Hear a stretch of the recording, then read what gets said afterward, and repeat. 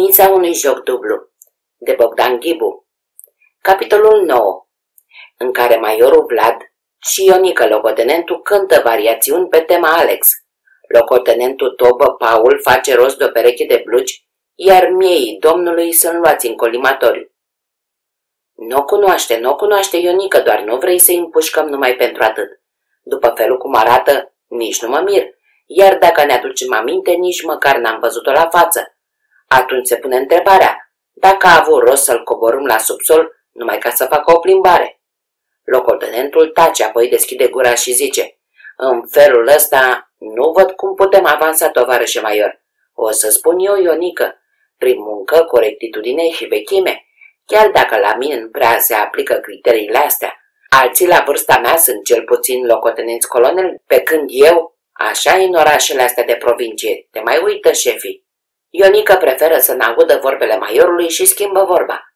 Până acum, nimeni nu a venit să reclame vreo dispariție nici la noi, nici pe plan național. Va să zică, femeia nu lipsește nimănui. Ce să înțelegem de aici, că n-are rude, că n-are servici, că n-are soț? Atunci dăm voie să te contrazic, soțare sau a avut până nu de mult. Cum așa, tovarășe Maior? Pe inelarul mâinii sunt se vede clar urma lăsată de perechetă și după mărimea citurii se poate remarca încă ceva. Inelul nu i l-a scos asasinul pentru că ar fi trebuit să-i taie degetul, așa era de strâmtă. Mai curând l-a scos singură, nu de mult.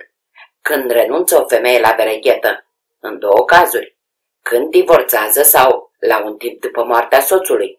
Unele nici atunci o păstrează ca să arate că l-au iubit pe reposat sau măcar să se dovedească cumva că au fost măritate.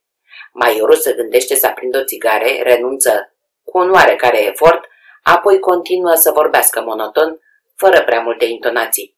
Ai putea să-mi zici că nu e vorba de o bereghetă, ci de un banal inel. Sau poate femeia pur și simplu l-a dat la lărgit? M-am gândit la asta și nu e exclus să fie așa.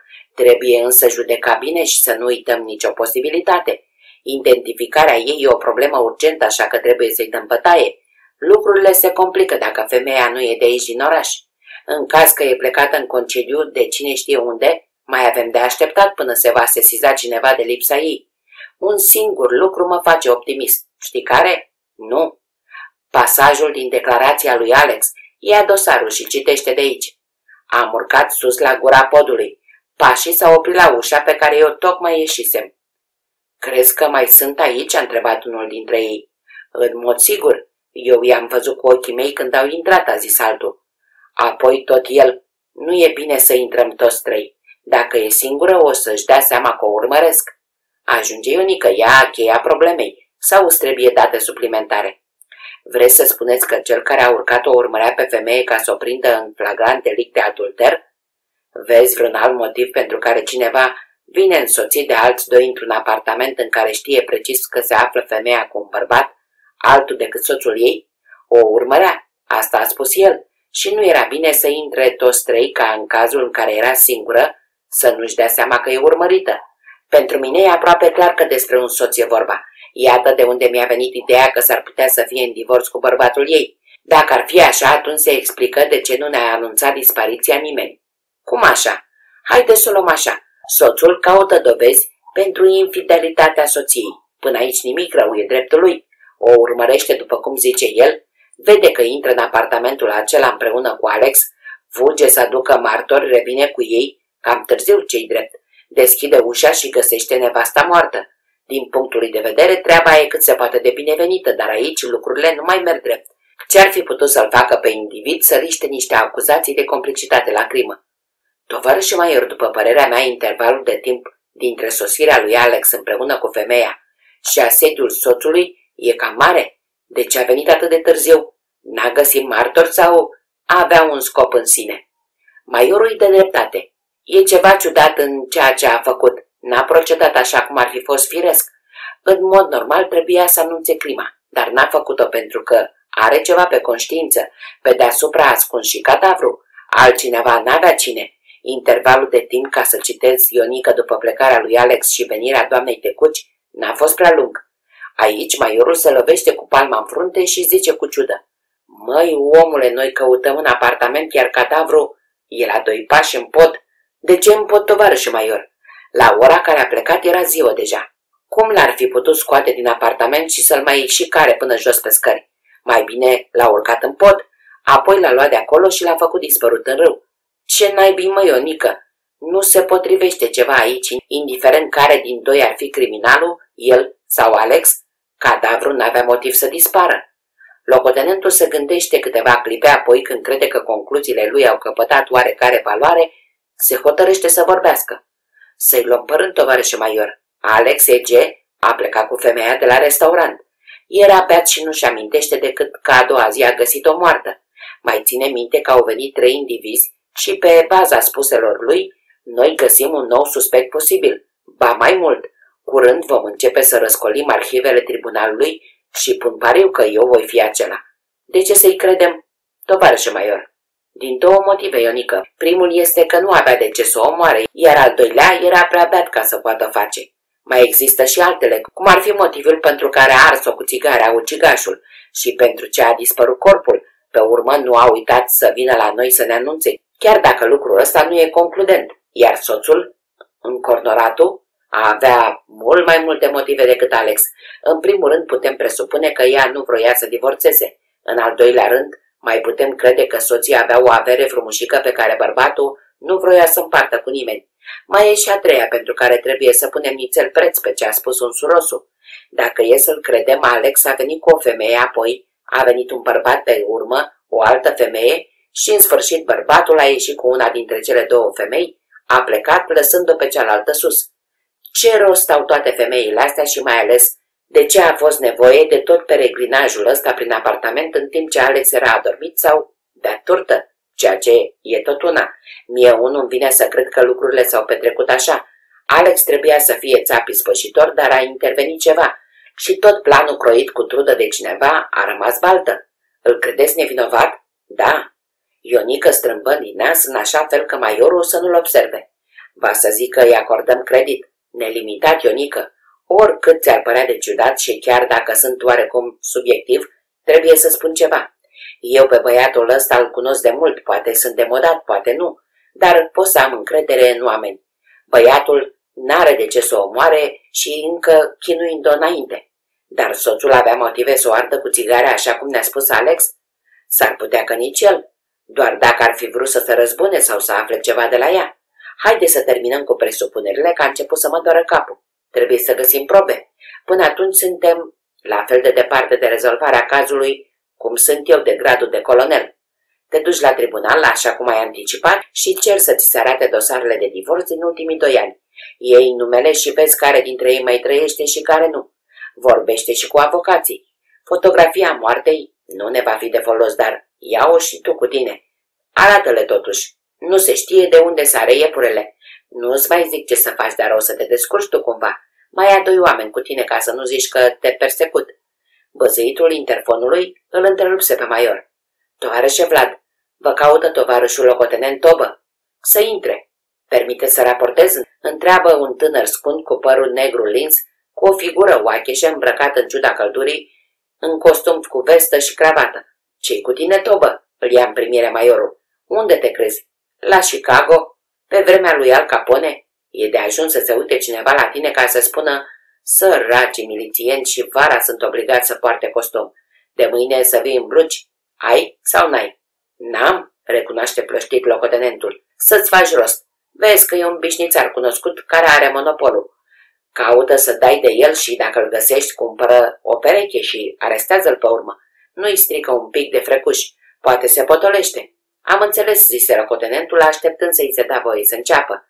Răcorit în sfârșit, maiorul se arată mărinimos. Raportează. E vorba de gazda Elenei Popescu, tovarăș Maior. Păi bine, măi, tobă, eu te trimis să iei interogatoriu amănunțit fetei. Și pe tine te atrage mai mult moșu? I-aș fi luat tovarăș Maior, dar Elena Popescu a dispărut de el. N-a mai dat acasă, iar la slujbă mi s-a spus că e în concediu medical.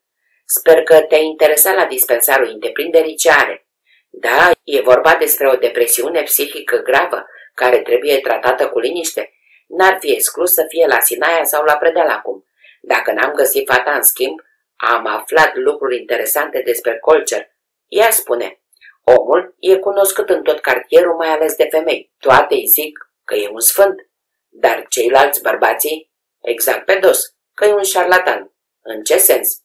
Colcer pretinde și dacă ar fi să ne luăm după ce spun femeile alea, ar însemna că așa e, că a vindecat o mulțime de bolnavi.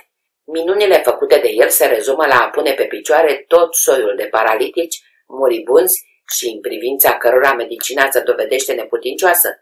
Cum le dă cu apă sfințită pe la nas, cum se ridică din cea mai anaibicomă. Nu cumva le dă cu țuică? Nu știu, zâmpește locotenentul, dar am stat de vorbă cu unul dintre vindecați. După ce l-am convins, am mărturisit că vindecarea l-a costat o mie de lei. Nu-i prea scump dacă l-a pus într-adevăr pe picioare. Nu m-ați înțeles. Nu pe el. Pe sfânt. Ia te uită, să amuză Vlad, ce șmecher. Le dă bani ca să se recunoască vindecați? Asta cam miroase a șarlatanie. Exact, omul era sănătos tun. Singura boală de care suferea era lenea. Asta îl împiedica să muncească. Când i s-a ivit ocazia să câștige ușor niște bani, n-a ezitat deloc.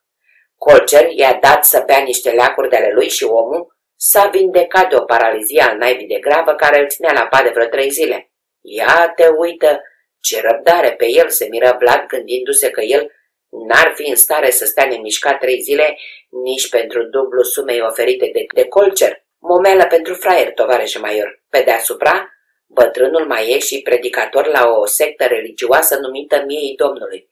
Secta s-a înființat în 1965, din inițiativa altui luminat pe nume Tănase Petre, care a murit după aceea în împrejurări pe care le-aș numi suspecte. În locul lui a fost un scolcer. Cum a murit precedentul? A căzut de pe casă. Ce a căutat acolo a rămas o enigmă pentru toată lumea, fiindcă televizor n-are, iar dacă ar fi vrut să-și repare acoperișul, s-ar fi găsit o mulțime de doritori să o facă. Cât sunt? aproape o sută, se adună pe strada șerpuită la o bătrână acasă. Va să zică, nu-i casa lui Colcer. Nu, oficial, clădirea aparține unei femei, Marta Rădoi, dar adevăratul stăpân e Colcer. Nu se clintește acolo nimic fără aprobarea lui. Din ce se vorbește pe la colțuri, se pare că va trebui să ne ocupăm curând de el. Se zice că aici locotenentul lăsă capul în jos și tace. Ei, haide că doar nu ți-o fi rușine, îl ia peste picior maiorul. Fac amor în grup, tovarășe maior, zise dintr-o dată tânărul. Adevărate orgii? Dovezi există? Nu. Poate doar să-i prindem asupra faptului. De la membrii cotizanți nu se poate scoate nimic. Le e frică sau nu vor să vorbească, iar ceilalți nu știu nimic sigur. O să ne ocupăm și de el când vom avea timp. Va trebui să strecurăm un om la el. Ce zici, mergi tu, Tobă? Eu? Pe mine mă cunosc deja, poate Bogdan? De mers la el va trebui să mergem, fiindcă mai am să-i pun câteva întrebări. Ce zici, Tobă, mergi cu mine? Merg, tovarășe Maior. Foarte bine. Nu o să fiu singur pe drum. Am de gând să merg pe jos ca să facem economie la benzină. Credeți că va colabora cu noi? N-are încotro. E în interesul lui, mai ales că ceea ce vreau să-l întreb n-are nicio legătură cu secta. De asta mă gândesc că poate scoatem ceva de la el. Mergând agale, maiorul însoțit de locotenent ajung în cele din urmă acolo unde și-au propus. E cineva acasă?" strigă Tobă bătând în poartă. Pe cine căutați?" Băbuța, proprietara casei, scoase capul pe geam, privind cu ochii miopi spre stradă. Dacă toate sunt ca ea, remarcă maiorul, atunci poate să facă câte orgi poftesc. Sunt și mai tinere și nu toate urâte, răspunde locotenentul. Maiorul nu-l ascultă, însă fiind preocupat să poarte o discuție constructivă cu baba. Pe colcer îl căută măicuță, nu-i acasă? Nu e, dar trebuie să vină dacă vreți să-l așteptați. Nu cred că mai întârzie. Stați jos acolo pe bancă. Mulțumesc până vine el. N-ai vrea să stăm puțin de vorbă? Femeia clatină din cap. Cu mine, maică? Dar cine sunteți dumneavoastră? De la miliție. Am mai fost pe aici. Și ce vreți să vorbiți cu mine? Până vine Colcer, bătrâna cedează așa cum cedează până la urmă toți cei care au de-a face cu maiorul. Ea spune casa ea dumitale? A mea? Și Colcer stă la dumneata cu chirie? A, nu, cum să-i cer bani? E un sfânt, m-ar bate Dumnezeu. Nu-ți dă chiar nimic? Nu, dar se ocupă de toate cele de trebuință, mâncare și altele. I-am făcut și testament, dacă o să mor, să nu rămână pe drumul. Câți ani ai? Se miră maiorul. 70 bătuți pe muche. Iar el, nu știu, maică. Pot să spun că are mai mulți decât dumneata. Să aibă că doar e sfânt, zise băbuța pe un ton convins. Așa va să zică și stă de multă vreme la dumneata? De vreo zece ani și mai bine, cine știe. Nu i-ai făcut contract? De ce să-i fac? Stă cât vrea, pleacă când vrea, pentru ce hârțoage. Și așa nu mă pricep la ele. Eu sunt femeie simplă. Bărbatul meu, fie iertat, se ocupa de toate. Când am rămas singură, noroc că l-am găsit pe el. E un om bun. Și Elena, dumneata, ai luat-o în gazdă? Cum să o iau eu? se sperie băbuța. Sfântul a adus-o. Zicea că un pan în plus nu strică. Discuția se oprește aici, deoarece colțer își face apariția. Pe dată orice urmă din stăpâna casei dispare, ca și cum n-ar fi fost, iar adevăratul proprietar se apropie cu mâna întinsă de maior. Se vede că e bucuros nevoie mare de revedere. Bună ziua! Ce vânt va aduce pe la noi? Maiorul remarcă surprins că hainele Sfântului răspândesc un miros pronunțat de spital. Sunteți bolnav? întreabă el amabil. N-am fost în viața mea, cine v-a spus? Așa am crezut, mă rog, n-are importanță. Înseamnă că ești un om fericit dacă n-ai fost bolnav. Ia spune, ai văzut-o vreodată pe femeia asta, pe la Elena Popescu? Și Vlad îi pune în fața ochilor fotografia pe care o cunoașteți. Figura Sfântului rămâne impasibilă, dar chiar dacă ar fi reacționat cumva maiorul, tot n-ar fi avut cum să vadă din cauza bărbii acestuia. Cine-i? întrebă colcerul după ce o privește suficient. Asta vroiam să ne spui dumneata? Ai mai văzut-o pe aici? Nu sunt sigur, vă dați seama că în starea asta e greu să spui ceva precis. Poate că da, poate că nu. Nu se vede mare lucru din fața ei. Când stai patru zile în apă, lovindu-te de rădăcini și de pietre, e normal pe urmă să arăți așa. Mă rog, dacă ți amintești ceva, dă un telefon la miliție. Numărul e ușor de ținut minte. 11111. Acum spune-ne, de Elena mai știi ceva? Nu, n-am mai dat acasă de ceva vreme, dar la ea e ceva obișnuit. Poate e la prietenul ei, Dobrescu. Știi cumva pe unde stă? De unde să știu păcatele mele? Numele ei l-am aflat întâmplător. E însurat prietenul ăsta al ei? Colcerul ridică umerii în semn de neputință. Nu știu, domnule Maior. De când locuiești aici? De vreo doi ani. Și asta nu te împiedică la lucru? La ce? La lucru, accentuează Maiorul privindu-l țintă.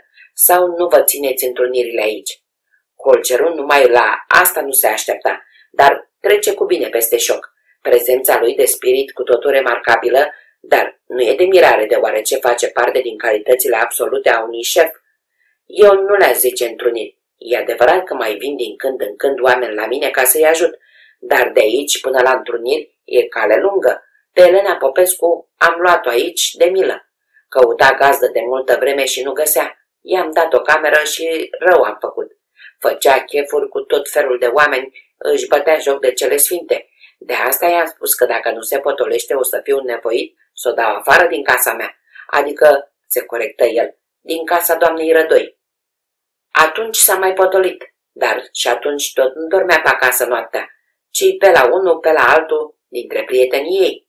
Atunci ai aflat de Dobrescu? Ea mi-a spus, odată când o luasem la rost mai tare. Bine, îți mulțumesc pentru colaborare, s-ar putea să te mai derajăm. Domnule Maior, îl oprește colcerul, fremântându-și mâinile, ce-a făcut fata asta? De ce o urmăriți? Nu o urmărim, moșule, e vorba să ne dea o declarație, atâta tot. Maiorul împreună cu Tobă pleacă fără să mai fie împiedicați de data asta. Pe drum, Vlad găsește o cale să-i comunice locotenentul că, după părerea lui personală, luarea Elenei Popescu în gazdă avea un alt motiv mult mai interesant decât banii sau o binefacere.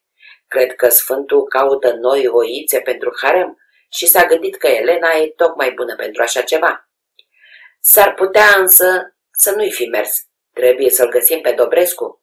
Sau cum să o fi chemând repede. Dacă nu e la el, te duci acasă la părinții fetei la țară. O cauți și acolo. Dragi prieteni, întrerup puțin pentru a vă reaminti să vă abonați la canalul meu Lectură și Relaxare. Este gratis și pe mine mă ajută foarte mult. Puteți lăsa un like, un comentariu dacă v-a plăcut lectura. De asemenea, am deschis și opțiunea de membri, în care veți putea afla ce carte urmează să citesc în premieră, totodată veți putea audia cărțile integral. Vă mulțumesc pentru susținere! Capitolul 10 În care găsim o poveste cu niște bagnote numite valută, Simona îmi cere ajutorul, iar maiorul Vlad îmi acordă încredere de plină, spre marea surprindere a unui locotenent. Când ies pe poarta spitalului, parcă lumea și-a deschis larg porțile în calea mea. Toți trecătorii sunt simpatici, toate fetele drăguțe. Numai Simona îmi lipsește pentru ca să fiu de plin mulțumit. Nu știu cine a decis eliminarea mea din spital, dar indiferent cui datorez recunoștință, o are în cantitate nelimitată. Brațul îl mai port încă neșarfă ca să par interesant în fața ochilor domnișoarelor de pe stradă, dar cu toate că nu mai iese necesar, atunci când las mâna jos, simt o amorțeală în ea și se face grea ca plumbul. Ajung fără probleme acasă, grație unui mijloc de transport în comun foarte puțin aglomerat la ora aia. Și chiar dacă nu mă poate vedea nimeni ce cu minte sunt, mă așez pe pat și dau drumul la televizor. Găsesc o partidă de fotbal. Îmi dau silința vreo jumătate de oră să o urmăresc. Apoi, pentru că jucătorii par a face parte din aceeași echipă, în ciuda echipamentului diferit, încerc să-mi găsesc altceva de făcut. Pe terenul de pe ecran domnește cea mai bună înțelegere în continuare, așa că sătul de joacă asta de a dă-mi o mie, nați o ție, întind mâna și apăs butonul cel negru care face întuneric. Aș putea să dau un telefon, dar de ce să se creadă că sunt topit după o anumită persoană numită Simona Udrescu? Ia o carte, citesc câteva pagini și, tocmai când să prind criminalul, au soneria. Se vede că asta mi-e pedepsa, să nu pot termina o carte. La spital era mai explicabil, dar nici acasă să nu fiu lăsat în pace. Mă ridic hotărât să scap de vizitator cât mai repede, apoi, după ce mă gândesc bine, dacă am suficienți bani în casă, în caz că îmi vine vreo chitanță. Mă apropii de ușă și o deschid. Ce-i cu tine?" întreb eu când o recunosc în prag pe Simona. Pare obosită, iar părul e în dezordine și se vede că a alergat. Oricât aș fi de încrezut, totuși ideea că din cauza mea e atât de grăbită nu-și face loc decât provizoriu în capul meu. Intră, stai jos, ce s-a întâmplat? Trebuie să am răbdare până își revine complet. Încă nu și-a recăpătat darul vorbirii. Alex, am fost la spital, dar mi s-a spus că ai plecat. Nu te-au mințit, tu asigur eu foarte serios. Alex, prietena mea, se repede la pieptul meu și îngroapă fața în cămașă și dă drumul unui șuvoi de lacrimi ce riscă să de apartamentul. ce cu tine, Simona? Papa, uite ce am găsit la el în sobă din camera lui. Sunt zece mii de mărci și o sută de mii de lei. I-am numărat. Ciudat să se fie apucat moșul de trafic de narcotice. De unde are? Ai vreo idee? Uită-te și tu, bagnotele sunt aproape noi. Înseamnă că le-a primit de curând anii ăștia. Simona șterge ochii cu dosul palmei căutându-și o batistă prin poșetă. Poate străinul care a fost pe la noi? Cum? A fost un străin? Da, pârvul cheamă. E un fel de român, dar a plecat de mult în străinătate. Acum venise să-și caute rudele. Poate că el i-a dat banii lui papa. Ce motiv ar fi avut? Doar n-a plătit cu o anumită sumă niște informații. Ia stai, mi se pare că pricep, nu cumva i-a vândut descoperirile lui străinului? Simona se face galbenă, apoi roșește violent și în cele din urmă revine la culoarea ei normală. Nu se poate, nu poate face așa ceva. Chestiile astea nu pot fi vândute. Sigur că nu. Abia acum încep să mă tem pentru bunicul tău. Dacă a făcut prostia să-i vândă lui Pârvu ceea ce a descoperit, atunci ne putem aștepta la cei mai rău. Un asemenea lucru se numește trădare. De data asta, Simona nu mai dă acela semne de frică. Trebuie să predăm banii la miliție și să spunem tot, continui eu ferm. Poate vor putea lua ei măsuri înainte să părăsească țara străinul acela. Să mergem repede, bunicul tău ar putea mai bine să-și vadă de romatism decât să se țină de prostii. Nimic nu-l îndreptățește să le ofere al cuiva decât statului român. Totul depinde acum de felul în care vor privi lucrurile cei de la miliție, în speță maiorul pe care l-ai cunoscut la spital. N-ar fi mai bine să vorbim mai întâi cu un avocat? Cunoști vreunul? Da. Să mergem atunci la el? Nu o să-ți fie greu? Mă întreabă un lucru imposibil. Ca să mă împiedice ceva să merg cu ea ar trebui să fie un lucru mult mai grav decât o nimica toată de rană. Când ieșim pe poartă, sunt cu 10 cm mai înalt pentru că o am lângă mine pe Simona. Afară soarele puternic mă face să scot ochelare din toc și să-i abordez pe nas. E mult mai bine așa. Mergem câteva minute, tărâși grăpiși și apoi când oboseala începe să-și arate colții, nu mă pot stăpâni și întreb, mai e mult? Nu, uite acolo. Și mi-arată cu degetul o poartă de metal încastrată într-un gard de piatră. Ajungem și fata, în loc să sune ca tot omul, pipăie peretele și grație unui mecanism doar de ea știut, poarta grea se deschide fără zgomot și putem intra. Curtea e înconjurată de flori din toate părțile, dar nu le putem admira pentru că intervine ceva. Simona! urlă un individ în vârstă de vreo 50 de ani, cu fața foarte tânără, dar în ciuda părului albit pinișor. Neaiancule strică și ea la fel de tare, aruncându-i se în brațe. Ciocnirea nu lasă urme pe caroseria niciunuia dintre ei. Ba, zice că din contră, sunt de-a dreptul încântați că se află unul în brațele celuilalt. Dacă ar fi cu 20 de ani mai tânăr, aș fi precis gelos. Așa mă mulțumesc să contemplu scena și îmi caut de lucru prin jur. Ce te aduce la mine așa fără motiv? Nu veneai tu? O tachinează Neaiancu sorbind-o din ochi. Am un necaz, se vaită Simona bine dispusă dintr-o dată. E imposibil, ești prea drăguță. Tu trebuie să fii ferită de supărări. Flăcăul ăsta ce păzește? Flăcăul se face că plouă, nu vezi? Râde ea. Strengăriță, te pomenești că te măriți și nouă nu ne-ai spus nimic. Rușine, tantita Veturia de-abia așteaptă să fie nașă. Simona găsește de cuvință să roșească și să facă un semn, care nu scăpă avocatului. Ce tot faci acolo semne? Ce crezi că nu văd? Că nu mai puteți unul după altul? Dacă e așa, de ce vă mai pierdeți timpul? Haide, nu trebuie să mulțumești pentru idee, pentru că oricum vă venea și vouă odată și odată. Hai, spune, ce te aduce la mine? E vorba de papa, presupun că a vândut chestiile alea din grădină unui străin, pe valută. Aoleu, se speria avocatul gata să sară din papuci. Banii sunt la mine. Spunem ce să fac. Care a fost idiotul? Unul pârvu. E român plecat în străinătate mai de mult. Trebuie să vă duceți la miliție să depuneți bani. Dar dacă a vândut ceva ce aparține țării, nu mă pot stăpâni eu. Nu-l arestează? Avocatul o privește pe Simona, apoi la semnul afirmativ făcut de ea îmi zice Ce ai văzut tu în grădina aceea n-are nicio valoare. Bunicul ei are o mică pasiune, dar ea nu e grădinăritul, ci modelajul. Tot ce ai văzut acolo e din cel mai autentic gips și cel mai pur carton. Par însă foarte reale, nu-i așa? Pe mine unul m-a păcălit, zic eu. Și pe alții. Asta e păsărica lui. Se crede mare inventator, se plânge cui vrei și cui nu vrei că a fost neîndreptățit.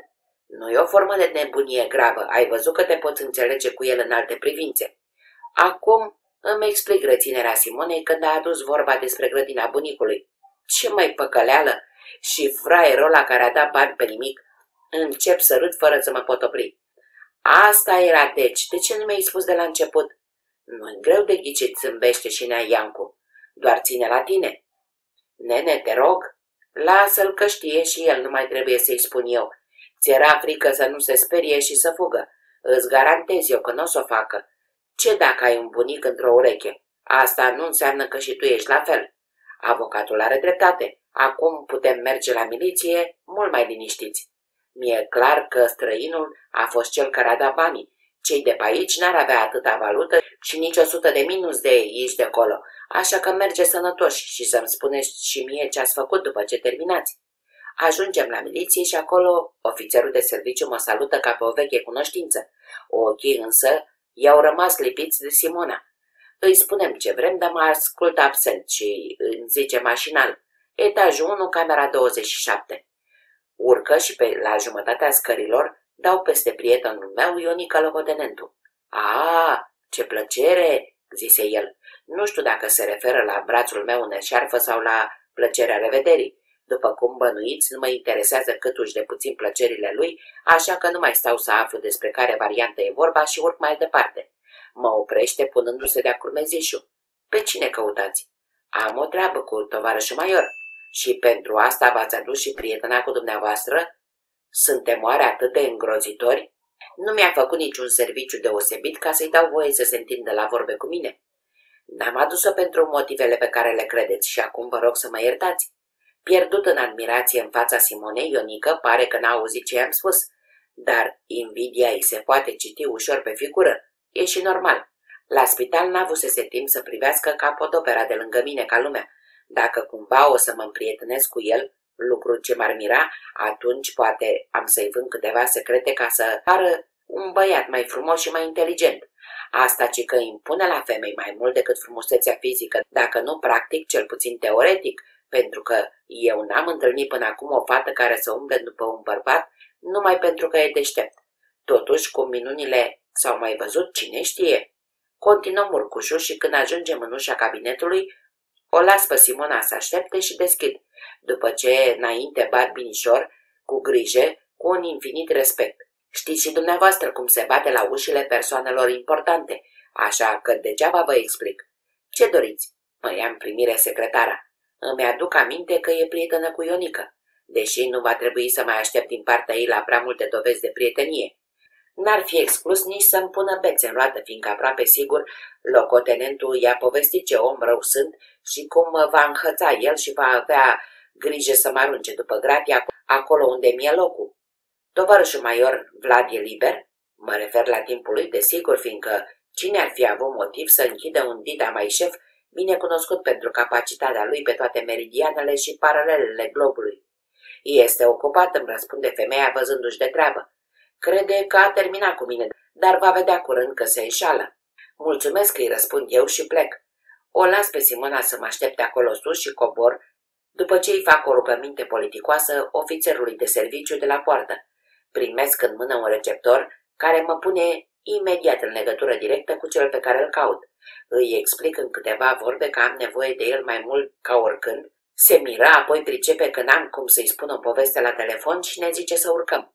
Eu și Simona să ne înființăm la cabinetul lui de lucru. Îi fac pe plac și gândindu-mă cu satisfacție la mutra pe care o va face secretara, ajung acolo unde mă așteaptă Simona și îi explic în câteva cuvinte că totul merge pe făgașul cel bun. Aștept acolo pe culoar cam o oră, în care timp mă întreb dacă nu cumva șeful e înțeles cu subalternul să-mi facă zilele cât mai negru posibil. Când să-mi pierd speranța din cabinet, iese un om încadrat de doi milițieni în uniformă. La prima vedere, tipul n-are nimic anormal la înfățișare, doar că își pălâncă capul într-o parte și în alta, zicând aproximativ din secundă în secundă. Tic-tac, tic-tac. O fi avut vreun tic, mă gândesc eu, fără să-i acord din prețioasa mea atenție nici măcar un gram.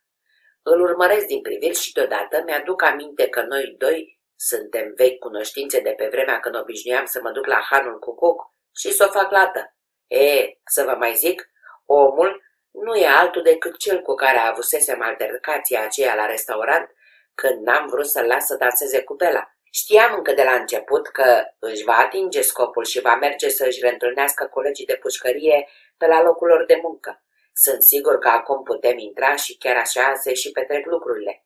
Secretara iese să uită pe coridor și după ce se miră suficientă vreme că n-am plecat încă, zice, tovarășul major vă poftește înăuntru.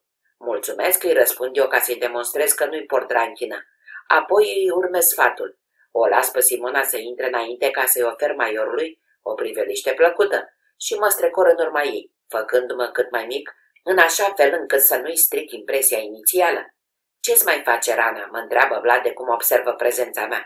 Merge, ajutată de picioare, fac eu o glumă care nu descrățește nicio iotă în fața maiorului. Dar ce s-a întâmplat? Se așteaptă la ceva rău, desigur, fiindcă lucruri bune nu i-am făcut cadou anul ăsta. Numai belele și încurcături. Îi fac semn unul mic de tot Simonei să înceapă cu povestitul și să nu uite nimic. A, asta ne mai lipsea, exclamă Vlad când Simona termină. Cine naibii l-a pus pe bunicul dumitale să facă pe inventatorul acum la bătrânețe? Iartă-mă că te întreb. L-a văzut un medic până acum? Știi la ce mă refer? Mă aștept ca Simona să se simtă jignită, dar în loc de asta pleacă ochii și răspunde pe auzit. Da, desigur. Și ce a zis? Că n-are rost să încercăm să-i scoatem din cap ideea că e mare inventator pentru că boala lui se va agrava. L-am lăsat în pace așa cum mi s-a spus pentru că tratament nu există și de altfel nu făcea nimic periculos pentru cei din jur. Desigur, până ce nu începe să încalce legea. Acum, faptul e consumat. Când va remarca lipsa banilor, va începe să se agite. Nu cred. Aproape că nu-și mai amintește nimic din ce s-a petrecut zilele trecute. Trăiește numai în prezent. Ar fi bine. Dacă totuși întreabă, spuneți că ați depus banii la bancă. Mă înțelegeți? La bancă, nu la cec. Nu e cazul să vă faceți griji. Cu mine s-a purtat întotdeauna bine. Nu ne-am certat niciodată, iar atunci când sunt plecată de acasă, își poartă singur de grijă. Deci nebunia lui e strict legată, așa cum zicea doctorul de grădină. Alex poate confirma. În discuțiile cu el te poți înțelege aproape normal. O înțeleg pe Simona, e bunicul ei și deci vrea să-l apere. Cum îmi amintesc însă de faza când l-am cunoscut în chip de mareșal, orice îndoială că e nebun de-a binelea îmi dispare. Fiecare alienat mental are clipe de luciditate. De ce n-ar avea și bunicul ei câteva din când în când? Trebuie totuși să fie atentă, zise mai departe maiorul Simonei. Când intervine o asemenea sumă, lucrurile se pot schimba, mai ales că bunicul dumitale crede că banii ăștia îi se cuvin pentru munca lui. Terminând cu indicațiile, Vlad ia pachetul cu bani și începe să-i numere. Termină, îi împachetează la loc în hârtie și zice În rest, n-are de ce să vă faceți griji, nici dumneata, te asigur. De întâmplat nu o să-i se întâmple nimic. Ați procedat amândoi bine când ați venit la noi. Ia spune, mă ia pe urmă în primire maiorul. L-ai recunoscut pe individul care a ieșit în ceasornicul ăla, pe cel cu care te-ai bătut la restaurant? Da, din prima clipă. L-ați arestat? Nu pentru că te-ai bătut cu el, ci pentru o spargere. Vrea să scape bazma curată, așa că face pe nebunul. O să-i scot eu sminteala din cap curând. Și pe celălalt? E pus bine la păstrare și el pentru aceeași pricină. N-aș vrea să fiu în situația lui Vlad cu atâtea belele pe cap. Nu întotdeauna e grozav să fii șef, mai există și excepții, iar una dintre acestea o am în fața mea. Spune-mi, domnișoară, dar gândește-te bine. Banii ăștia nu i avea dinainte, în mod sigur? Tovarășe Maior, nu avem o situație prea grozavă. Pe lângă faptul că trebuie să îngrijesc de casă bunicul, mă mai ține și la facultate. De unde să aibă atâția bani? O sută de mii de lei și valută? Nu, în mod sigur pârvul i-a dat. Altfel, ce rost avea să mai vină o dată după prima vizită? Și de ce a intrat în relații de prietenie cu bunicul? Ba, i-a mai băgat în cap că îi va face o chemare să-l viziteze la el la fermă. E, de atunci numai despre excursia asta vorbește. Maiorul îi mulțumește pentru încredere, scrie o chitanță, i-o întinde fetei, apoi, după ce o roagă amabil să așterne pe hârtie totul, alături, în cabinetul secretarei, rămâne cu mine față în față. De ce îmi făceai semne? Vrei să-mi spui ceva?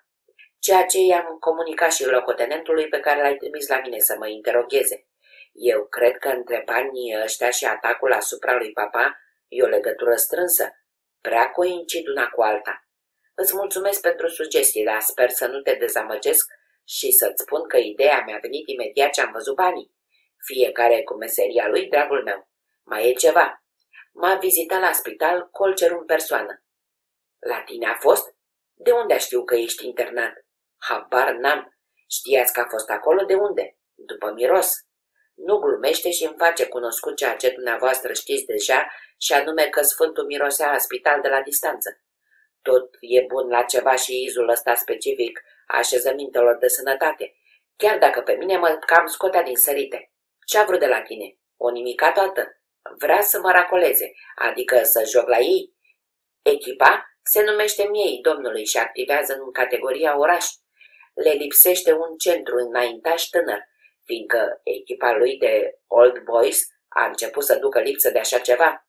Altfel, retrogradează și îi părăsesc suporterii, mai bine zis suporterele.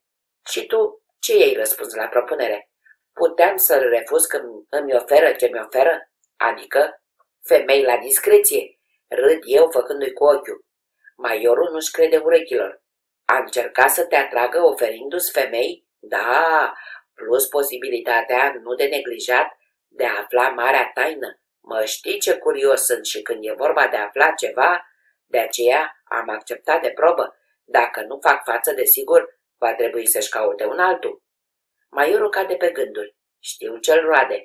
Pe de-o parte se bucură că are posibilitatea să afle ce se întâmplă pe la miei ăia, iar de alta îi cam pare rău că trebuie să aibă încredere într-un suspect. Cum însă crima e una și secta e alta, cred că nu va avea nimic împotriva unei asemenea escapade. N-are rost, crede-mă. Cum terminăm cu omorul? Cum îl luăm la ochi? Numai să găsesc timp să intru nițel în ei, că vor afla atunci toate tainele de pe lume. Tu stai în banca ta și încearcă să nu ne provoci necazuri.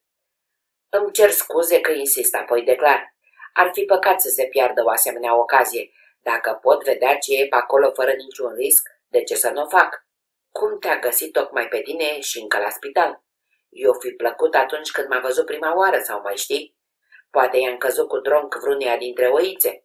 Iar de aflat unde sunt, nu era nicio problemă cu relațiile lui.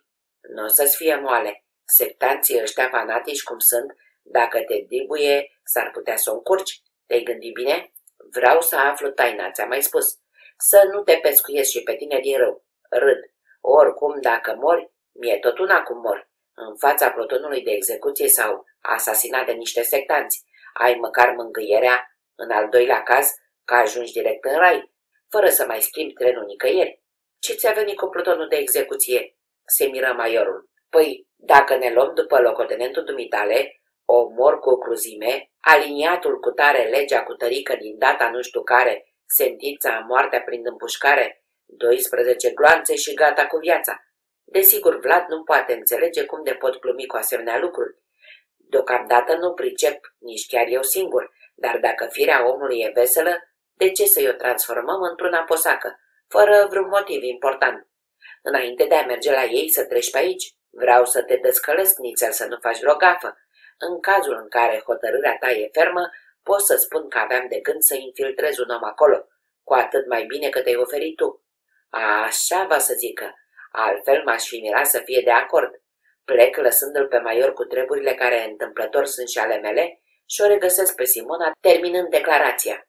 Nu mai am mult și va ajunge la aceeași perfecțiune ca și mine în dat relații la miliție.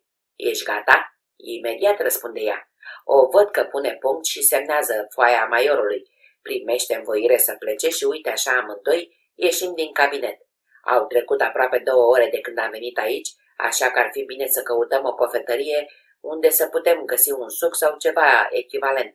Nu de alta, dar mi-e o sete teribilă.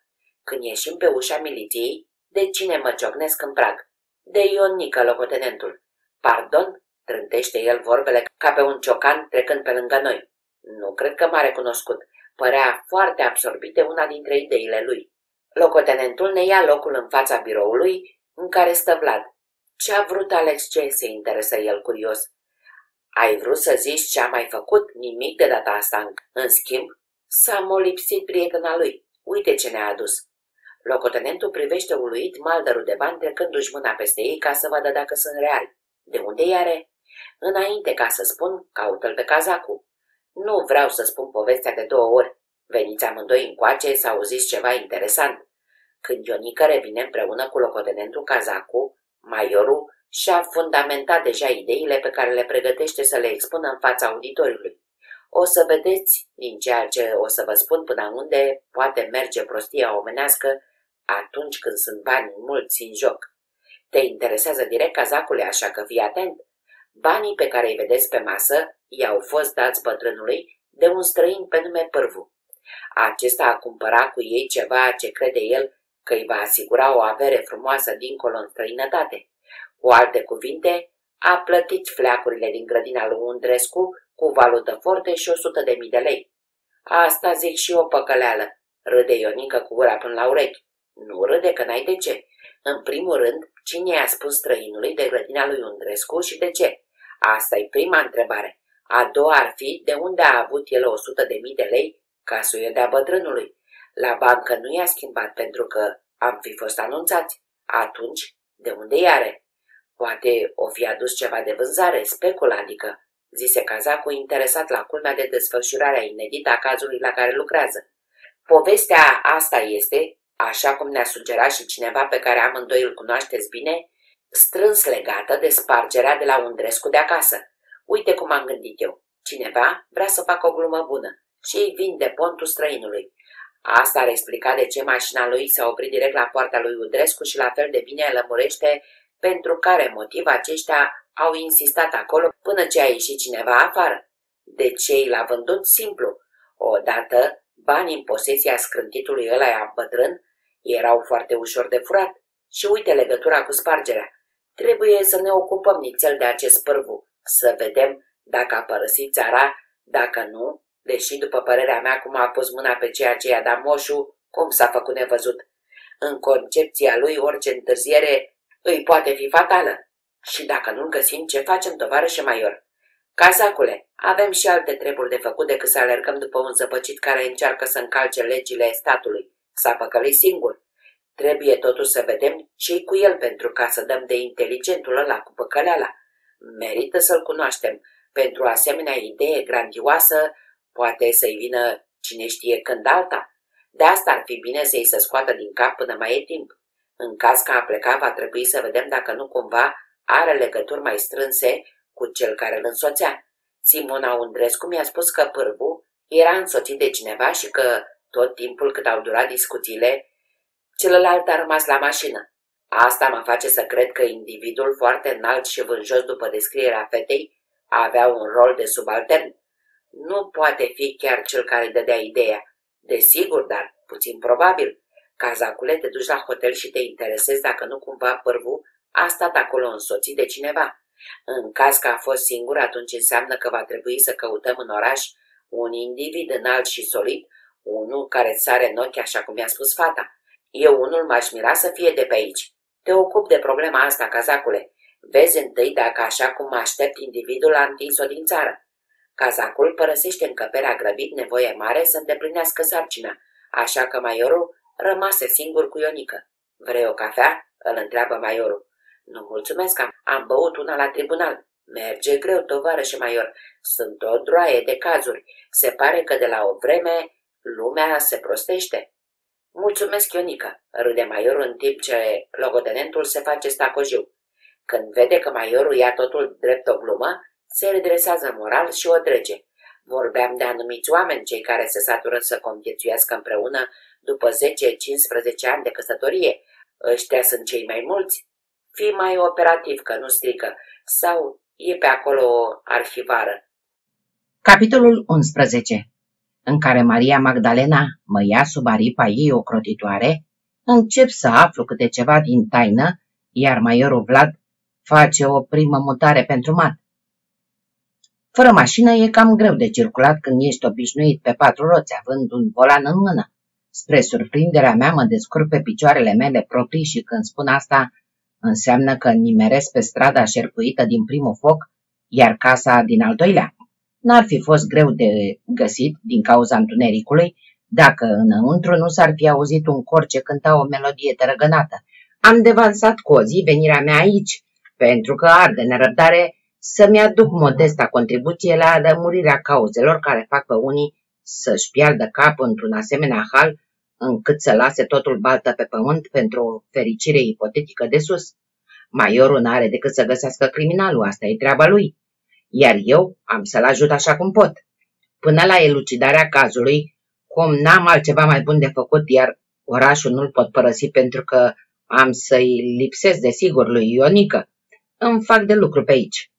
Sfatul maiorului de a mă păzi de ei mă face să râd de-a dreptul.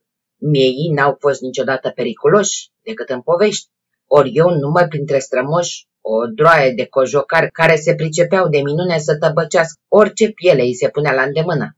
Deschid portița dinspre stradă, intru și, ca un făcut, aud adunarea zvierând încântată. Bine ai venit de ne mântuiește! Zic în gând mulțumesc, intru, trântesc portița în urma mea. Pe dată, melodia încetează ca retezată cu cuțitul. Urc treptele până la ușă și aștept să se milostivească cineva de mine după ce voi bate. Înainte să apuc însă să bat, aud vocea lui Colceru întâmpinându-mă. Bine ai venit, intră! Și ușa se deschide singură. Nu mă arăt mirat de trucurile lui răsuflate, care nu mai pot impresiona nici măcar un pionier mai răsărit. Împing ușa și intru. Pe dată cineva mă apucă de mână și mă introduce într-o cameră în care simt prezența mai multor oameni. Spun simt, fiindcă de fapt n-am cum să văd. Împrejur e întuneric. Pe mine unul besna care înconjoară pe diversi indivizi faptele atunci când au de face cu mine a început să mă cam supere. De ce a fost inventată lumina electrică? Ca să ne lipsim de ea?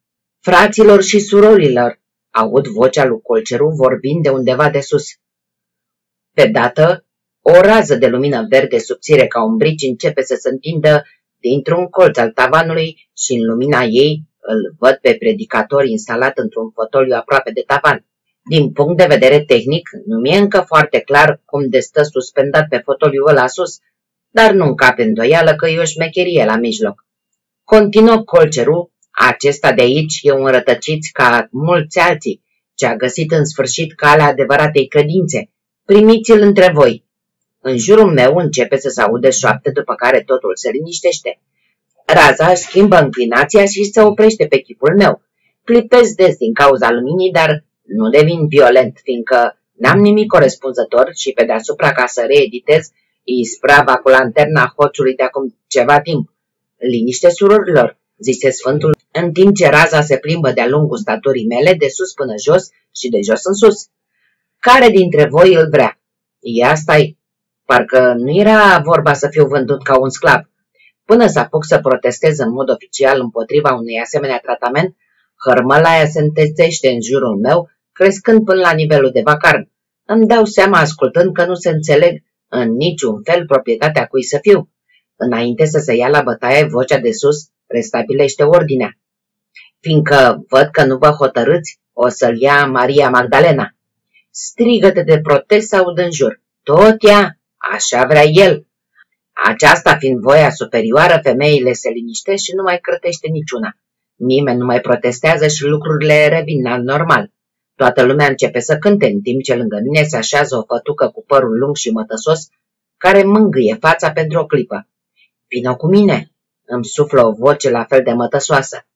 N-am niciun motiv să o refuz când îmi cere un lucru atât de mic. Mă scol și o urmez.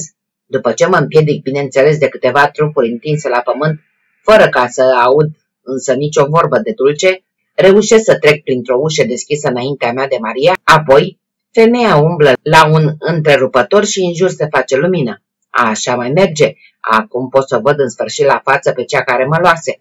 Femeia care stă înainte are tot ce-i trebuie pentru ca un om să se ducă în ispită, la fel ca și surata ei din Biblie.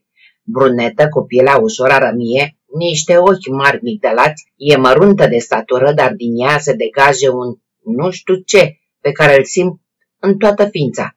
Se uită la rândul ei la mine și îmi zâmbește. Așează-te pe pat. Am uitat să vă spun că suntem într-un dormitor, dacă așa se poate numi, camera prevăzută cu un pat dublu, oglindă și câteva scăunele joase. Îi fac pe plac, fiindcă iarăși n-am motive temeinice să o refuz. Pe dată lumina se stinge, apoi simt că se apropie și mai simt ceva. Femeia e complet dezbrăcată. Cum a reușit să facă turul ăsta de forță, nu pot să știu. Pot să vă spun însă că n-am mai întâlnit în viața mea pe cineva care să se dezbrace cu asemenea viteză. Acum m-am lămurit ce vor de la mine. Dacă și ceilalți, cei de dincolo, sunt în aceeași ținută, atunci atât eu cât și maiorul ne înșelăm pentru că cei de aici nu fac parte decât dintr-o sectă a nudiștilor. În ceea ce mă privește, n-am nimic împotriva lor, dar doresc pe cât se poate să-mi păstrez hainele intacte. Umblă ușor cu mine, drăguțo, îi spun eu când simt că îmi desface nasturii de la cămașe. Am la umăr o rană care nu mă lasă să zbor, deși aș vrea. N-am știut, șoptește ea ridicându-se. Revine cu un pahar pe care mi-l îndeasă în mână. Da, nu o să mai simți durerea. ce e asta? Da, și nu mai întreba. O să mulțumești pe urmă. Mă smulg din rejele glasului ei, la fel ca și colegul meu Ulise din ghearele sirenelor, și cum nu se mai găsește nimeni care să mă lege de catarg, gust numai puțin. Băutura n-are nimic suspect în ea, doar atât că e dulce, foarte dulce chiar. La ora asta, cu gura uscată din motive obiective, aș avea nevoie de exact contrariul ei. De ce nu bei tot? Fiindcă îmi e sete, grozav de sete, iar ce e aici în pahar e dulce. O să-ți facă bine, e o băutură pe care o fabricăm aici în casă din plante diferite. Fie ce-o fi, beau până la fund paharul și pe urmă mă cuprinde o căldură cam de 40 de grade în sus. Plus, desigur, îmi șterg transpirația comună, iar sudoarea începe să înșuruiască pe spate. Pe urmă, totul se contopește într-un amalgam de culori sub forma unui curcubeu care se învârte, se desparte în alt curcubeu mai mic, apoi într-o mulțime de cercuri, romburi și pătrate. Mă simt mult mai bine, doar atât că nu mai pot suporta nimic pe mine. Când îmi revin și deschid ochii, în cameră nu mai e atât de întuneric. Lângă mine Maria respiră precipitată, așa că nu mi-e frică că o să se repete povestea cu Bela. Vă închipuiți ce fericire pe capul meu când o aud vorbind. Ridică-te! Vocea nu-i mai păstrează nimic din dulceața de la început. Să zicem doar atât, e foarte oficială. Rolul ei s-a terminat, desigur, și acum urmează partea a doua. Mă simt complex slăit, dar sunt departe de a fi epuizat cu totul. Nu pricep nimic. Înainte nu știa cum să facă să mă culce, iar acum se dă de ceasul morții să mă scoale. Naiba să le mai înțeleagă pe femeile astea. Dacă nu știe ce vrea, de ce nu-și vede de treburi și încurcă lumea? Mă ridic și îmi caut hainele. N-ai nevoie de ele, mă oprește femeia. A, nu, asta nu. Îi comunic intenția mea fermă de a nu face un pas afară până nu mi-aduce hainele. Când de sus se aude vocea binecunoscută a Sfântului. Lasă-l să se îmbrace. Auzind ordinul, Maria se potolește și îmi dă tot ce am cerut. Curând nu mai există prin partea locului nici urmă de noi. Am ieșit afară și ne-am reîntors în prima cameră. Acum s-a făcut lumină și aici, așa că îi pot vedea pe toți. Nu sunt mulți, cam 20. Așa cum am așteptat, goi pușcă cu toții. În afară de acest mic amănunt, adunătura e destul de simpatică. Majoritatea sunt tineri. Lucru de mirare dacă ar fi să judec după capul meu. Frați și surori, sângele nostru s-a împrospătat cu unul nou. Trebuie să-l botezăm. Ce zici este numele ăsta Iacob? Desigur, nu veni nimeni cu altă idee. În ceea ce mă privește, nu-mi cere părerea dacă sunt de acord sau nu și nu-mi testează preferințele. Frate Iacob, zice colcerul pe urmă, primești botezul? Acum îmi pare rău că n-am rămas dezbrăcat, fiindcă orice botez presupune și ceva apă asociată. Sunt luat pe sus, așezat pe o masă și un binevoitor îmi toarnă în cap o găleată plină. A zice chiar că un ciubăr, dar cum nu-l văd, mă abțin să fac aprecieri. Acum ești al nostru, îmi zice colcerud, fără să se mai gândească la ceea ce am spus înainte, anume că am venit la ei de probă. Să cântăm și să-i mulțumim Domnului, mai spune el. Și pe dată toți încep să facă vocalize, mai puțin cunoscutul nostru care habar n-are nicio melodie cucernică. Și iartă-ne pe noi, cântă toți în cor cu ochii în tavan. Așteaptă probabil o minune, dar cum nimic nu se întâmplă, Sfântul îi invită la garderobă să-și ia hainele și să elibereze locul cât mai repede. Să vii și mâine, îmi spune el, încercând să vadă pe figura mea un semn de refuz. Mă feresc să-i spun ceva de genul ăsta și declar foarte entuziasm. Cu plăcere, dar o vreau pe Maria.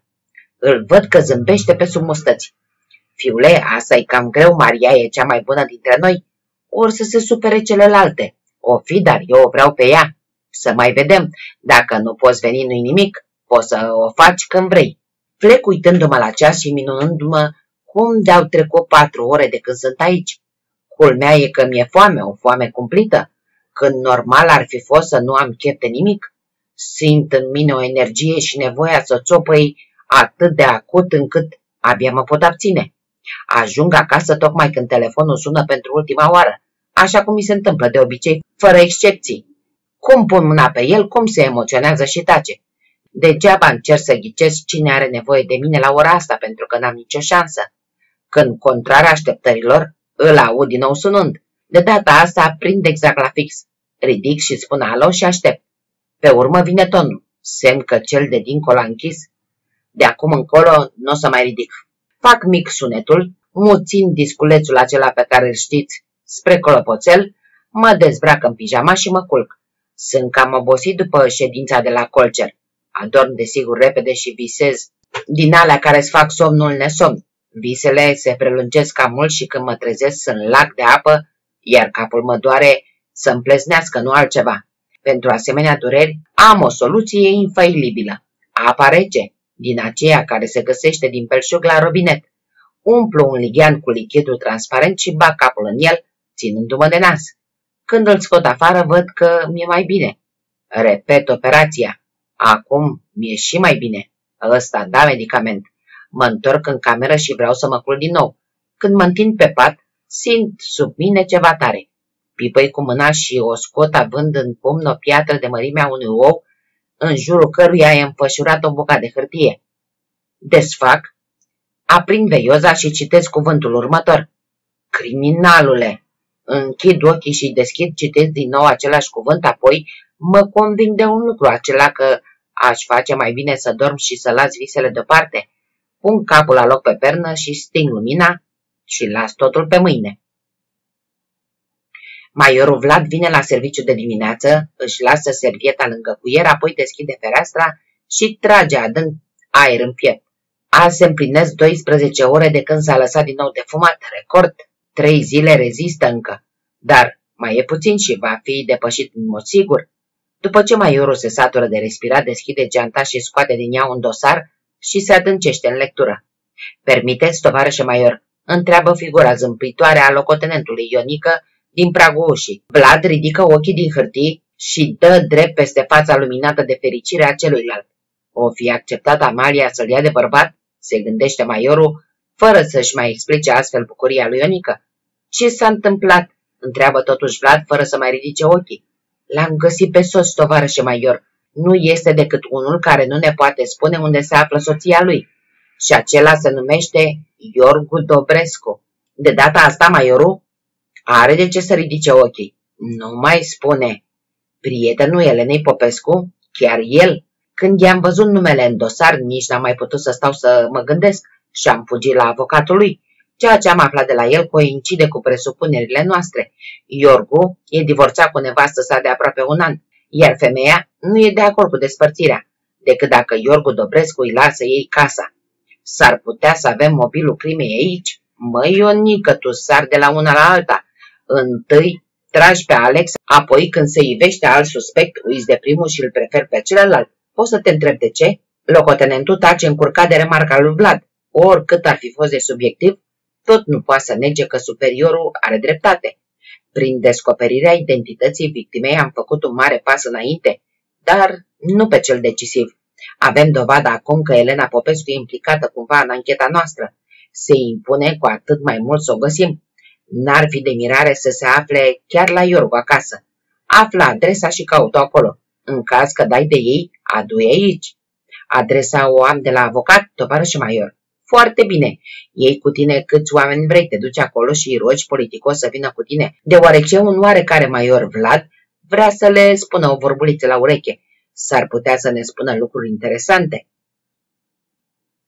Dis de dimineață, locotenentul Cazacu, purtând nelipsita servietă diplomată în mână, își îndreaptă pașii spre unicul hotel numit Boulevard, în amintirea unor vremuri când probabil acolo fusese o șosea sau ceva asemănător. Cu vremea, clădirea modernizată de multe ori, în funcție de capriciile câtorva arhitecți, își pierduse mult din forma inițială, dar, dar nimic de inconfortul binecunoscut nefericiților pasageri ocazionali. Pe drum, ca orice lucrător conștiincios, locotenentul își face un plan de bătaie, luând, luând în considerare până și ipoteza puțin probabilă că funcționarii de acolo or să vrea să ascundă adevărul. Înarmat cu toate argumentele posibile, cazacul intră în holul impunător și se îndreptă glonț spre recepție. Camere după ora 12. Îl ia în primire o fetișcană brunetă care își face de lucru cu nasul vârât într-un registru. Cum holul respectivului hotel nu e intercontinental și niciun alt hotel central, aglomerat în orice zi a săptămânii, cazacul nu se pierde cu firea și așteaptă răbdător ca fata să-i acordă puțin atenție. V-am spus, camere după ora 12, zice ea din nou, fără să se uite cu cine stă de vorbă. Aveți un director pe aici? Se interesează locotenentul după un sfert de oră de așteptare. Degeaba tot nu vi se dă cameră până la ora 12.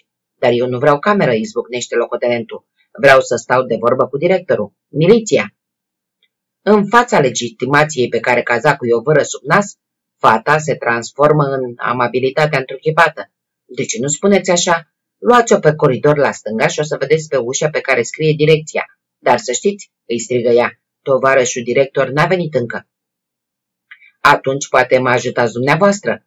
Aveți calitate oficială sau vreți să vă ajut așa pentru dumneavoastră? Cât se poate de oficială? Ioreteză locotenentul scoțând un carnet din geantă. Vederea caietului cu coperți negre îi provoacă o oarecare neliniște femeii. Ce doriți să știți? Ați avut acum câteva zile un pasager, un străin, pe nume Pârvu. V-aș ruga să vă uitați în registrele pe care le știți pe din afară, după cât de atent îl studiați înainte, și să-mi spuneți dacă a locuit la dumneavoastră sau nu. Funcționarea pe al cărui ecuson scria mare cu litere aurii Emilia Băluță nu schițează niciun gest și spune, nu e nevoie să mă uit, în tura mea a venit. Eu l-am înregistrat. Perfect, se bucură cazacul, mira de un asemenea noroc. În calculele lui, funcționarul care luase în primire pe pârvu ar fi trebuit să fie liber pe câteva zile, cu recuperare firește, iar căutarea lui ar fi durat suficient de mult ca maiorul să se întrebe cum naibii de locotenentul se mișcă așa încet când are de adus la îndeplinire o sarcină de nimica toată. Mai era cu cineva când a venit? Da, era însoțit de un român, un gigant înalt și solid, cum n-am văzut mulți prin oraș. Îl cheamă un moment să mă uit. Micu. Și mai cum? Nu e trecut, am omis, zise fata speriată căutând un prenume care nu exista în registru. I-ați luat datele din buletin, sper, sau nu l-avea la el? Fără buletin nu avem voie să dăm camere, zise indignată fetișcana de parcă orice umbră de îndoială aruncată asupra hotelului ar fi fost o jignire personală pentru ea. Dați-mi, vă rog, datele ca să le scriu. Va să zică micu și nu mai știu cum. Domiciliul stabil în Botoșan, strada Teilor numărul 7. Să sperăm că tot acolo locuiește, zise cazacul închizând carnețelul.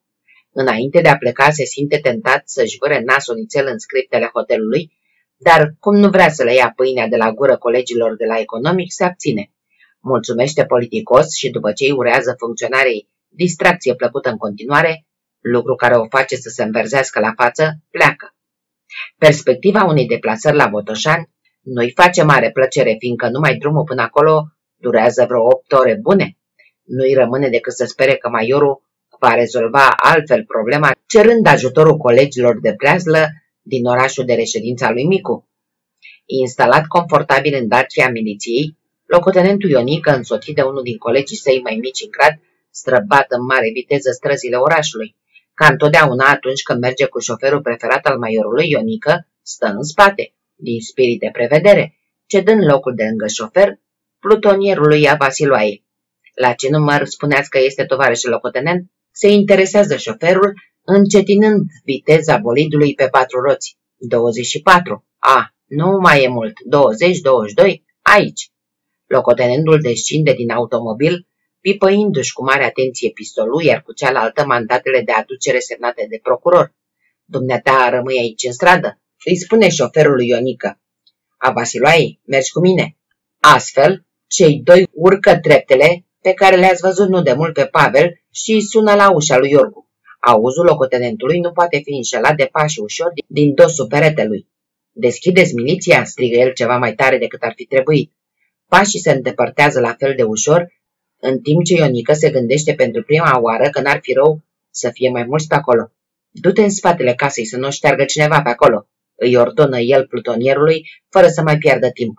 Acesta se execută în pas alergător în timp ce Ionică sună în continuare insistând. Am primit răspunsul de la Botoșani, îi spuse Vlad cu locotenentului Cazacu. Pe clientul nostru îl cheamă Micu Isarie și e bine cunoscut pe acolo. Are cazier. A făcut doi ani pentru bătaie. I-a spart unuia coastele dintr-o lovitură. Pe urmă s-a cumințit, dar de lucrat tot nu lucrează pe nicăieri. Și acum lipsește din oraș de câteva săptămâni. Trebuie să-l găsim neapărat. L-am dat în urmărire pe tot teritoriul. În ceea ce îl privește pe pârvu, ăsta și-a luat zborul la propriu și nu l-a figurat, de pe aeroportul Otopendec, la câteva ore după tranzacția cu Udrescu. Exact așa cum am așteptat. N-a stat să piardă vremea și s-a grăbit să-și valorifice invenția. Să-i fie de bine. Să aștepte să crească ce crede el din pământ în care va sădi legumele alea. Acum, înainte de a pleca, te rog să-mi faci un serviciu. Caută-l pe Ionică și anunță-l că vreau să-i văd achiziția. Să-mi o aducă încoace. Cazacul pleacă grăbit nevoie mare, iar maiorul rămâne în așteptarea unei vizite pe care o dorea de foarte multă vreme.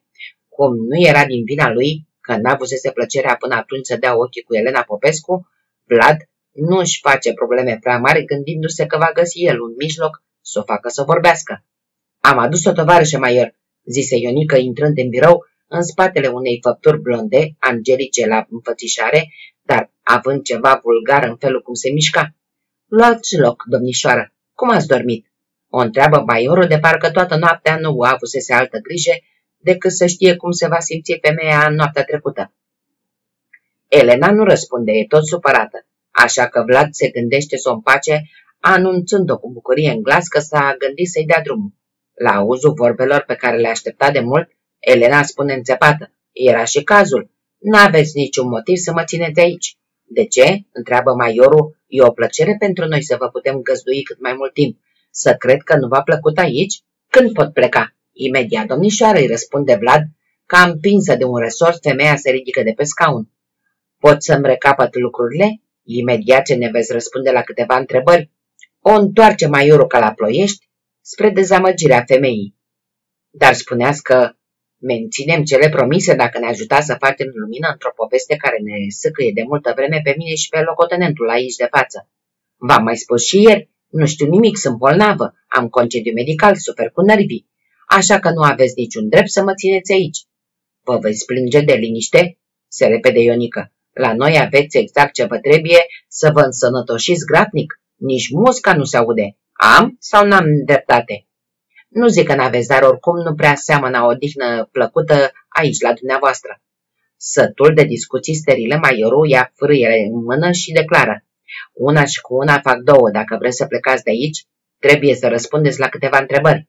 Și dacă nu, atunci vă pun sub acuzare pentru complicitate la crimă și vă arestez, până la judecarea procesului. Alegeți. N-am prea mult timp pentru palavre. Riscați să luați 20 de ani, face cunoscut pe un ton dulce Ionică, adăugându-i la cei 25 ai dumneavoastră, rezultă 45, socoteală simplă. Elena pălește, se uită să vadă dacă e glumă, pricepe că nu e niciuna pe acolo, apoi își vără capul în palme și spuse cu vocea gătuită. Întrebați-mă, ce doriți să știți? În primul rând, unde se află Iorgu Dobrescu? Nu știu, a plecat acum două zile și de atunci nu l-am mai văzut. Nici bani nu mi-a lăsat pentru mâncare. A plecat într-o noapte de acasă împreună cu alți doi inși. Cine sunt aceștia? Știți? Pe unul îl cunosc, îl cheamă Pavel. A mai fost pe la noi. Pe celălalt nu l-am mai văzut până atunci. Au plecat spunându-mi că se întorc până dimineață. Dar l-am așteptat degeaba, n-a mai venit. Care sunt relațiile dumneavoastră cu Iorgu? Vrem să ne căsătorim după ce va divorța, se înțelege. E însurat? Da. O cunoașteți pe nevasta lui? Nu. N-ați văzut-o niciodată? Nu, niciodată.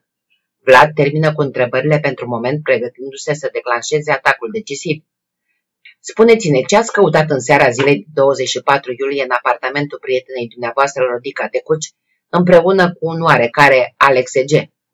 Elena nu reacționează niciun fel. În seara aceea n-am fost acolo, ci am dormit la Iorgu. Nu știu ca la Rodica să fi fost un bărbat cu numele Alex E.G. Replica a fost dată mult prea repede după părerea maiorului pentru ca să fie adevărată. Sunteți sigură? Absolut. Dar pe data de 22, în jurul orei prânzului, Elena cade pe gânduri. Pe 22? Asta a fost marți. Marți mi se pare că am fost în oraș cu Vera. Maiorul o privește compătimitor, în așa fel că femeia își dă seama, fără să mai fie nevoie de cuvinte, că a sfeglit-o. Cum se face că vă aduceți aminte atât de bine ce ați făcut pe data de 24, iar ziua de 22 vă este atât de neclară? Ce s-a petrecut pe data de 24, domnișoara Elena Popescu? Nu știu, mi-a rămas în minte pur și simplu, fără să am vreun motiv anume. Poate pentru că m-am întâlnit cu Iorgul și nu ne mai văzusem de multă vreme. Uite ce e, zise Vlad plictisit. Lasă, joaca, haide. Pentru mine teatrul ăsta nu mă amuză decât pe scenă, ci juca de profesioniști. În casa prietenei dumitale s-a comis o crimă. Știi ce e aia? O crimă, așa-i?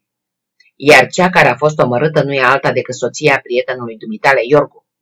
Tot mai susții că nu știi nimic? Tăcerea e singurul răspuns. Fata îi pierde graiul, iar din curajul cu care înfruntase întrebările maiorului, n-a mai rămas nimic. Ce garanție ai, continuă Vlad pe același ton amabil, că Iorgu Dobrescu nu va recunoaște totul, dând de exemplu vina pe dumneata? S-au mai văzut cazuri. Atunci mai merită să-l aperi? Gândește-te bine, ceriști, să-ți petreci cei mai frumoși ani în închisoare. Vă rog să mă credeți că nu știu nimic. Mai ai timp de gândire până mâine, poate ți amintești. Te poți duce acasă, dar ia aminte să nu faci prostii. N-ai nicio șansă să scapi, în caz că te gândești să fugi, iar pe Iorgul vei găsi aici atunci când vei veni. E doar o chestiune de timp să punem mâna pe el. Femeii nu-i veni să creadă când vede ușa deschisă în fața ei. Rămas singur împreună cu Ionică, Maiorul face câteva înseminări pe niște file albe, apoi spuse Mâine va veni aici și ne va spune totul, dacă nu, înseamnă că e mai tare decât credeam. Am lăsat-o să se gândească dacă dragostea ei pentru Iorgu merită sacrificiul de a sta în închisoare atâta vreme. Nu m-ar mira, continuă Vlad, ca până mâine să descopere că nu ține la el atât de mult pe cât credea. Dacă fuge tovarășe Maior, nu-i nicio problemă, o să o prindem repede, iar lucrul ăsta îl știe și ea chiar mai bine ca noi. Deci, tot Iorgu, zise Ionică ca și când ar fi știut el că Dobrescu e criminalul. Nu e sigur. Ceea ce vreau eu e să adun faptele la un loc, să le amestec bine și să vedem dacă nu dă oala în foc, adică dacă nu răsuflă ceva. Ar fi de mirare ca cei doi, care au un amestec în crima asta fără îndoială, să nu se acuze reciproc. Întotdeauna se întâmplă așa. Ce să-i faci în ziua de azi? Nu mai poți avea încredere nici măcar într-un complice. Atunci când nu știi ce a declarat celălalt, e foarte ușor să te dai de gol. Ai nițică răbdare și o să-l găsim pe Dobrescu și dacă nu ți-o place, unde a putut dispărea? Poate a simțit ceva în aer? Au proprietatea de a simți cu tremurile care îi primejduiesc. Mai ceva ca animalele sălbatice. N-avea grijă că o să-l găsim noi. Am și început investigațiile. Am multiplicat fotografia, am distribuit-o și cel mai tare ne încurcă faptul că individul ăsta nu lucrează nicăieri. Poate ar fi mai bine să-i percheziționăm locuința? S-ar putea să găsim ceva acolo. Nu e o idee rea. O să încerc să obțin un mandat. Vino peste o oră să-l iei și nu mai pierde timpul. Nu vă faceți griji, tovarășe Maior. O să fie totul bine, zise Ionica. Ți-ai ghicit Amalia în cafea de știi atât de bine sau e doar o părere personală? Întors la locuința lui Iorgu, locotenentul are surpriza să o găsească pe Elena deschizând ușa. Iată că ne întâlnim din nou, domnișoară, zise el vesel, bucurându-se de revedere. Dar parcă era vorba să meditați la dumneavoastră acasă, nu aici. Cum se face că ați greșit drumul și mai ales de unde ați avut alte chei? Fiindcă ale dumneavoastră au rămas la noi, continuă Ionică, legând pe degetul arătător, mai există un rând de chei, puse bine la un loc sigur, răspunde femeia pentru caz de nevoie. Mă bucur că mi-a spus acum ce aveți de gând să faceți în orele în care v-au rămas. Rămâneți aici, să ne ajutați la percheziție sau plecați acasă? Dacă se poate, aș rămâne, zise încet Elena. Cum vreți, răspunse locotenentul ferm hotărât să fie cavaler. Încet cu încetul, casa lui Iurgu e trecută prinsită de niște specialiști în materie, fără să se descopere nimic deosebit. Uitându-se din când în când la Elena Ionică, se hotărăște în cele din urmă să o angajeze pe post de barometru, fiindcă aproape sigur că nu va convinge să joace împreună jocul acela de rece și cald. Deși, mulțumindu-se să privească din când în când pe furiș la fată locotenentul, începe să se plimbe prin cameră, apropiindu-se de mobile. Pe fața Elenei nu se citește nimic. Dacă e ceva de ascuns, nu e aici, constată Ionică în cele din urmă. Prea stă liniștită. Mulțumit de constatare, trece în bucătărie cu efecte mult mai mulțumitare pe fizionomia femeii. Aici trebuie să fie, zise încântat locotenentul, strigându-i pe ceilalți doi. Ia veniți încoace! Teama inițială, afișată de Elena, se transformă în panică. E gata să o ia la fugă, iar Ionică o oprește. Vreți să plecați tocmai acum? Pentru ce? Sunt obosită, foarte obosită, m-aș duce acasă. Credeam că vreți să rămâneți aici, dacă nu, de ce să venit totuși? Puterea obișnuinței, cred, zise ea, reașezându-se pe scaun. Ionica, împreună cu cei doi colaboratori, mută din loc mobilele din bucătărie, vreo jumătate de oră fără niciun rezultat. Și-a bătut joc de mine, se gândește în ciudat locotenentul, tentat aproape să-i tragă o înjurătură. De îndoit nu se îndoiește nicio clipă că ceva trebuie să fie pe aici. Altfel, ce rost ar fi avut ca Elena să dorească să stea? Și mai presus de asta, ce rost are să riște o întoarcere? Speranța că îl va găsi pe Iorgu acasă? În niciun caz. Putea presupune că locuința e supravegheată și nu s-ar fi înșelat deloc. Cu toate astea, a riscat. Noi am terminat, zise unul dintre colegii de suferința lui Ionică frânt de oboseală. Dacă e ceva pe aici, atunci e atât de bine ascuns încât numai dacă sfărâmăm mobila în bucăți, mai avem o șansă de a-l descoperi. Locotenentul e gata să le dea dreptate când își aduce aminte de ceva. Se întoarce spre Elena și cu o dulceață în glas îi spune Noi plecăm. Pot îndrăzni să sper că ne însoțești? Îmi pare rău că nu avem drum spre colcerul, dar v-am fi lăsat acasă. Nu-i nimic, zise fata ușurată, mă descurc eu. A, era să ui, se întoarce Ionică din prag, într-o ipoteză gen Colombo. De percheziționat casa, am percheziționat în mic de zis. Merită felicitări. Dar a mai rămas ceva. Scaunul acela. Și locotenentul arată cu un gest larg scaunul pe care stătuse Elena. Figura palidă ca ceara care îi stătea în față îi demonstrează lui Ionică un lucru evident de altfel. De data asta nimerit-o. Altfel, locotenentul nu-i trebuie mai mult de o clipă pentru a scoate de sub el un obiect dreptunghiular în care recunoaște un buletin de identitate. Îl deschide și remarcă încântat că mi-aparține. Putem pleca, zise el celorlalți, fluturând ca pe un trofeu actul meu de identitate. Și de data asta trupa se pune în mișcare având ca destinație miliția din localitate.